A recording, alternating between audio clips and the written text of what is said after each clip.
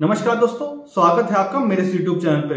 मैं हूँ डॉक्टर हिमांशु स्तोगी मैं आज आपको बताऊँगा कि अगर आपको अमरूद खाने से क्या फ़ायदे होते हैं और क्या नुकसान होते हैं और किन में अमरूद खाना परहेज होता है और आपको पपीता खाना है कि नहीं खाना है तो ये संपूर्ण जानकारी बताएँगे। अगर आपको अमरूद के बारे में जानना है, अमरूद अगर आपको खाना है तो आप अमरूद खा सकते हैं। अगर आपको कोई बीमारी नहीं, मल के द्वार में कोई बीमारी नहीं है तो आप अमरूद बेझिझक खा सकते हैं। पेट साफ़ करने के लिए अमरूद बहुत ही अच्छा फल है।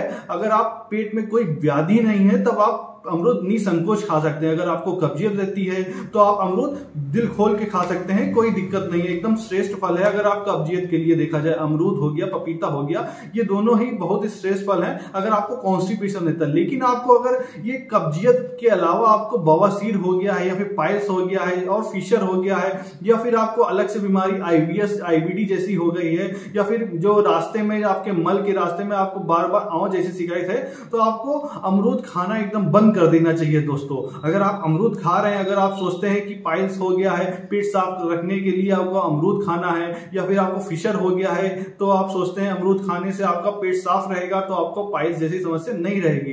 तो ऐसा बिल्कुल मिथ है दोस्तों, क्योंकि अमरूद के अंदर जो दाने होते हैं, वो आपके जब भी आप खाते हो तो डाइजेस्ट नहीं होते। डाइजेस्ट नहीं होने के कारण तो जब भी आप मल डेफिकेशन करते हो, जब भी मल त्याग करते हो तो वो जो दाने होते हैं, वो आपके अंदर के म्यूकस लेयर को, जो रास्ता होता है मलद्वार के बाहरी मार्ग का, वहाँ पे इरिटेशन करते हैं, अंदर के मार्ग में इरिटेशन करते हैं, वहाँ पे घाव भी कभी कभी कर देते हैं, जिसके कारण आपकी समस्या बढ़ जाती है। अगर आपको पायस है तो आपको ब्लीडिंग जैसा ज़्यादा होने की समस्या देखने मिलेगी। अगर आपको फिशर है तो मल त्याग के बाद देखा होगा आपको जलन जैसी, या फिर दर्द जैसा, या फिर खुजलाहट जैसा, या आपको ज़्यादा देखने को मिलेगा।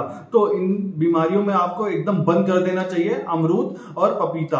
अब पपीता क्यों बंद करना चाहिए? क्योंकि पपीता इसलिए बंद करना चाहिए क्योंकि जो मल की मात्रा है बहुत ही ज़्यादा आने लगती है। जब ज़्यादा आएगी, अगर मान लीजिए आपके हाथ में कोई चोट लगा है तो आपको क्या करना चाहिए? उस हाथ से थोड़ा कम काम कर लेना चाहिए। और वैसे ही आपका, जैसे आपका जो मल बनेगा, ज़्यादा बनेगा ज़्यादा बनेगा तो कंसिस्टेंसी ऑफ़ मल की जो ज़्यादा होने के कारण मल त्याग थोड़ा ज़्यादा होगा। तो फिर घाव जो होंगे जो फिशर हो गया है, या फिर पाइल्स है तो वहाँ पर इरिटेशन होगा, जिसके कारण आपको दिक्कत आएगी। तो आप बिल्कुल ये दोनों फल अवॉइड करें। अगर आपको पाइल्स फिशर या फिर आईबीएस कोलाइटिस जैसी बीमारी है। तो जानकारी अच्छी लगी हो, चैनल को लाइक सब्सक्राइब ज़रूर करिएगा दोस्तों, और वीडियो को हो सके शेयर करिएगा। धन्यवाद।